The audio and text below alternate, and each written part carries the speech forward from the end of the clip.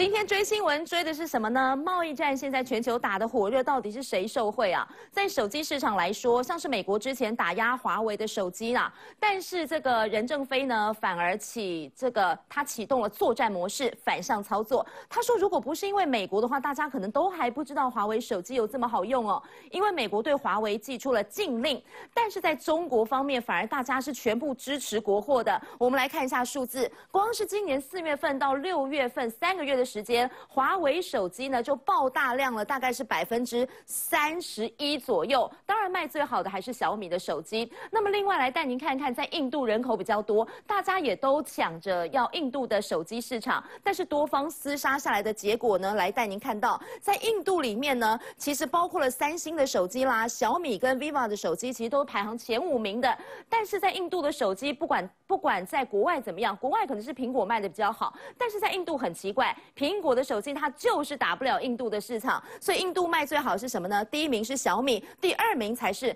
三星手机，那么第三名、第四名、第五名分别都是中国大陆手机哦。第四名是 OPPO，所以值得关注到的是，其实，在印度来讲，受到欢迎的几乎全部前面的四名都是来自中国大陆的手机，市占率就已经高达了六成的市场了。那么，其实来自中国的手机，他们现在也要结盟喽，已经要掀起内斗了。现在要打击谁呢？来带您看一下，有三个这个品牌要组成互传联盟的模式。也就是包括 vivo，还有包括了小米，还有 OPPO，他们怎么样互组联盟呢？用手机可以互相传档案。如果你是使用苹果的手机呢，你的手机里面会有个程式叫做 AirDrop，你就用手机跟手机当中可以互相的传你的照片。而现在这三家手机品牌也是要兴起这样的模式，只要这个互联网成功的话。三家品牌其实大家全部都可以通用的，要打击是谁呢？就是要打击卖比较好的华为了。而另外，我们带您看看现在呢，南韩刚讲到的三星电子稳居这个 OLED 显示器市场龙头的局面，恐怕会出现变数了。因为为了打破三星独大的趋势，苹果传出来打算在新推出来的 iPhone 里面，就是采用中国面板厂商京东方所生产的 OLED 面板，这样不但可以让手机更薄，而且它的速度也可以更快。就算荧幕弯曲或者出现波浪状，仍能呈现心理影像。中国液晶屏厂商京东方公司开辟了国内首条柔性 MLED 屏幕生产线，这也是全球除韩国外世界第二条。中国面板大厂京东方生产的可绕式 OLED 显示器，不但获得中国国内手机生产商青睐。现在更传出苹果也有意采纳。日经新闻报道，苹果正在积极测试京东方生产的 OLED 面板，而且已经进入最后验证阶段。只要一切顺利，明年推出的新 iPhone 就会正式采用。苹果这个动作，除了想降低生产成本，更打算借此减少对南韩面板供应商三星电子的依赖。이신문은애플은 BOE 로부터현재의삼성제품보다20%정도싸게 OLED 패널을조달할수있을것이라고덧붙였습니다。 原来全球 OLED 市场，南韩企业的市占率就高达百分之九十六，其中苹果的 OLED 面板更仰赖三星和 LG 的供应，但担心日韩贸易战影响三星产能，加上想和三星有更大的议价权，苹果才把目光转向京东方。而且京东方在中国政府的刻意扶持下，技术大幅成长。二零一八年就让最新的一点五代线投入生产，产品品质显著提升，更达到苹果要求的高标准，已经成为 OLED 市场不可忽视的新势力。You want to know something? We always win. 只不过京东方大张旗鼓撼动显示器市场，也触动美国的敏感神经，老早就被美国总统川普列入猎杀中国科技的黑名单。苹果能否顺利采用京东方的 OLED 面板，恐怕还存有变数。三立新闻文字报道。而另外来关注香港的反送中行动是还在持续当中，但是日前怎么传出有人好像已经被送往中国去了？前几天传出来的消息，这是英国有一个驻香港总领事馆的职员，叫做郑文杰，其实他年纪很轻，才二十八岁。他当天到深圳去开会，原本当天要回到香港的，但是人却消失了，而且一不见他消失了十几天，家人找不到他，非常着急，所以这个事件就披露出来，被大家所知道了。那么现在终于有他的消息，原来。他真的被抓，而且是被拘留。违反的是什么呢？因为违反了治安管理处罚法，所以呢，他真的被中共当局逮捕了，被处行政拘留，而且要关十五天。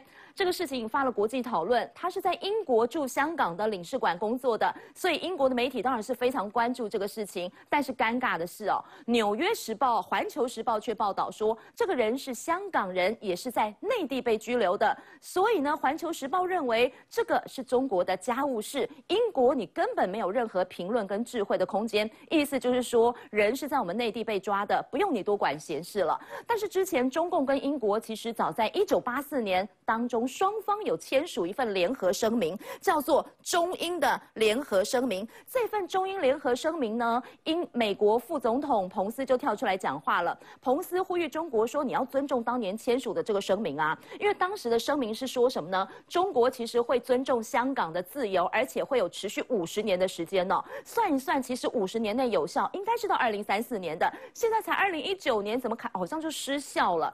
没想到央视这个时候跑出来呛虾。”央视当然是向着中国的嘛，而且很强硬。他说当年签的这个东西早就过期失效了，这个真的是睁着眼睛说瞎话。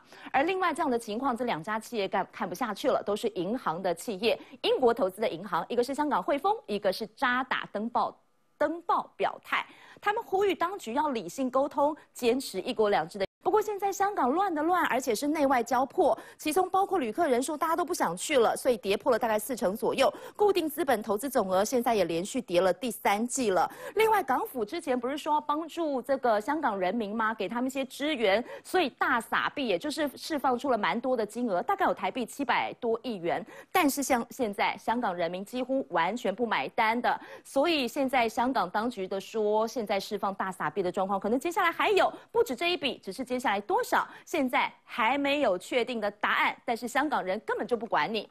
那么目前这个活动还在持续当中，我们来看看民众仿效了三十年前这个波罗的海牵手示威，发起八二三全港手牵手人脸活动。从联农强联署，再到百万人游行，反送中运动持续不停。香港人民不放弃，再度发起人链活动，号召大家在八二三当天集合，从筲箕湾到坚尼地城的港岛线，美孚到黄埔的荃湾线，以及深水埗到油塘的观塘线，全长约三十二公里，一起上街牵手发声，期望翻转政治氛围。十五年前的台湾也出现过。百万人手牵手，守护台湾到永久。两千零四年二月二十八号，反对中国飞弹瞄准台湾，台湾也发起牵手护家园行动，从基隆和平岛到屏东嘉东乡苍龙村，全台两百万人手牵手相连五百公里，大家高呼口号，拼选举办公投。当年不止出动五千名警力，也是台湾史上参加人数最多的群众运动。而在二零一三年九月十一号，西班牙加泰隆尼亚民众也有多达一百六十万人披着旗帜上街，绵延四百公里，诉求发起公投换自由。最后虽然没能如愿，但是加泰隆尼亚人当家做主的心愿，全世界都知道，更是西班牙政府必须小心处理的敏感议题。但国际社会逐人链上街示威，其实都是源自这场运动。Millions of people holding hands through three countries stood together. demanding the same human rights like the rest of the free world. 为了挣脱苏联，当时波罗的海三国在三十年前的八月二十三号串起长达六百七十五公里长的人链，连接了立陶宛、拉脱维亚和爱沙尼亚首都，又被称为波罗的海之路。In one place, you had a wall that was being taken down because it separated peoples, while here you had a wall that was being built Because it was uniting peoples. 两百万人上街牵手，向全世界争取独立自由。半年后，立陶宛就成为第一个宣告独立的苏联加盟共和国。一九九一年，苏联政府也正式承认波罗的海三国全部独立。港民起身复制人链运动，希望能为家乡自由盼得一线曙光。三一新闻黄琼威报道。